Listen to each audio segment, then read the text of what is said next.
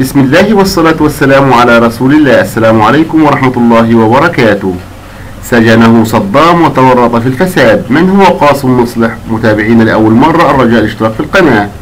تصدر اسم القيادي في ميليشيا الحشد الشعبي بالعراق قاسم مصلح. واجهات الأخبار عقب التطورات التي رافقت عملية إلقاء القبض عليه مؤخرا. وعلى مدى الأيام الماضية دخلت العاصمة العراقية حالة إنذار وتأهب أمني بعد استعراض مسلح. نفذته ألوية تابعة لميليشيا الحشد تبعها اقتحام المنطقة الرئاسية المحصنة وسط بغداد. تحملهم سيارات رباعية الدفع وعليها مدافع أحادية. وباستخدام السلاح المنفلت والتحش والتحشيد العسكري. مارست تلك الألوية الضغط على الحكومة العراقية بغية التأثير عليها لاتخاذ قرار بالإفراج على القيادي قاسم مصلح. فمن هو القيادي البارز الذي تحركت من أجله تلك الفصائل المسلحة؟ وطالبت قوى سياسية قريبة من الميليشيات بإطلاق سراحه. رجل إيران.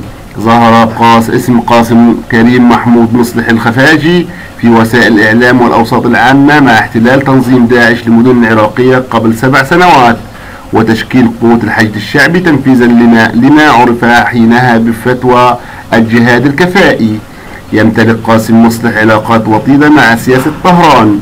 وقد قدمت له الدعم وقربته من قيادتها الكبيرة حتى أمس أحد المقربين من قائد فيلق القدس الإيراني قاسم سليماني الذي قتل بغارة أمريكية عند مطار بغداد مطلع العام الماضي. دخل مصلح السجن مرتين. دخل مصلح السجن مرتين الأولى إبان حكم الرئيس العراقي الراحل صدام حسين بعد اتهامه بالاشتراك بأحداث الشعبانية. مطلع تسعينات القرن الماضي ومرة أخرى عام 2003 حينما اعتقل على القوات الأمريكية إقالة جراء الفساد. أسس مصلح قوة عسكرية لحماية المراقل الشيعية قبل إعلان المرجع العراقي على السيستاني على فتوى الجهاد الكفائي. ثم أسس لواء علي الأكبر الذي كان له دور كبير في أماكن مهمة سيطر عليها تنظيم داعش وخصوصا منطقة جرف الصخر جنوب العاصمة بغداد.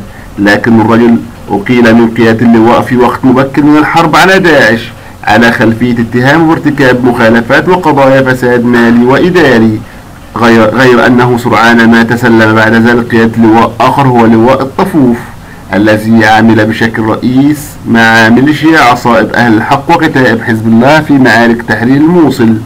وبعد تحرير الموصل انتشر لواء الطفوف التابع لقاسم في منطقة غربي الأنبار. وهو يدير حاليا مناطق القائم وعكاشات بالتعاون مع الألوية التابعة لميليشيات كتائب حزب الله. وفجر الأربعاء الماضي اعتقل, اعتقل رجل إيران بالعراق. من قبل قوة أمنية يشرف عليها وكيل, وزي وكيل وزارة الداخلية للشؤون الاستخبارية الاستخباراتية. بتهم ارتكاب عمليات إرهابية منها مهاجمة القواعد العسكرية التي تستضيفها القوات الأجنبية. والتورط في عملية قتل ناشط التظاهرات الاحتجاجية في العراق وبعد يومين من اعتقاله سرعت المرجعية الدينية في النجف وعلى لسان وكيلها المعتمد عبد المهدي الكربلائي بحسب تقارير صحفية إلى التبرؤ من أي صلة أو ارتباط مع مصلح فيما شددت على محاسبة كل من يخرق القانون.